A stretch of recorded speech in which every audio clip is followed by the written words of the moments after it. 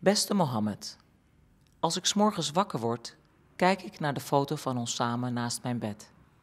Jij was mijn grote held. Jij was mijn inspiratie. Jij gaf me hoop en kracht op de momenten waar ik het onmogelijke mogelijk moest maken. In een sport die voor vrouwen tot dan toe onbekend was.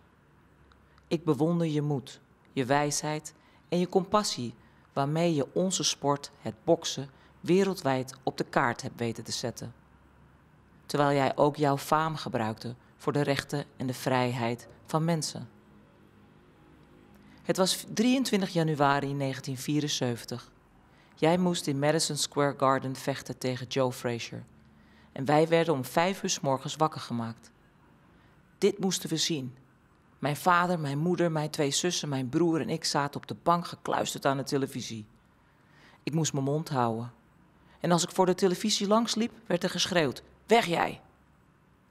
Op onze zwart-witte televisie zag ik een microfoon uit het plafond komen en de announcer riep: In de red corner, Mohammed Ali! Mijn moeder was voor Joe Frazier. Zij vond jou maar een schreeuw lelijk. Iemand wiens mond maar eens gesnoerd moest worden in de ring. Mijn vader was voor jou. Jij was zijn held. Jij deed wat jij wilde en zei wat je dacht. Alles wat hij niet durfde. Ik koos het kamp van mijn vader. Jouw kamp. Ik wees naar de televisie en zei: Dat ga ik ook doen. Waarna iedereen weer schreeuwde en lachte. Ga weg voor die televisie. Je won het gevecht uiteindelijk op punten. Vele jaren later ontmoette ik jou in Los Angeles, alsof ik voor het eerst mijn vader ontmoette. Ik keek uit naar de ontmoeting waarop jij de deur binnenstapte en ik gilde vol enthousiasme.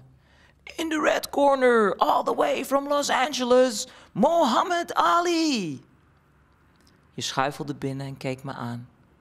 Ik sprong op en vloog je in je armen. Dankjewel, Mohammed, voor al die mooie jaren waarin je onzichtbaar mijn hand vasthield op de beslissende momenten. Jouw boodschap was dat je je faam en talenten moet gebruiken en je in moet zetten voor andere mensen waar dat kan. Ik koester deze boodschap en probeer waar ik kan dit in de praktijk te brengen.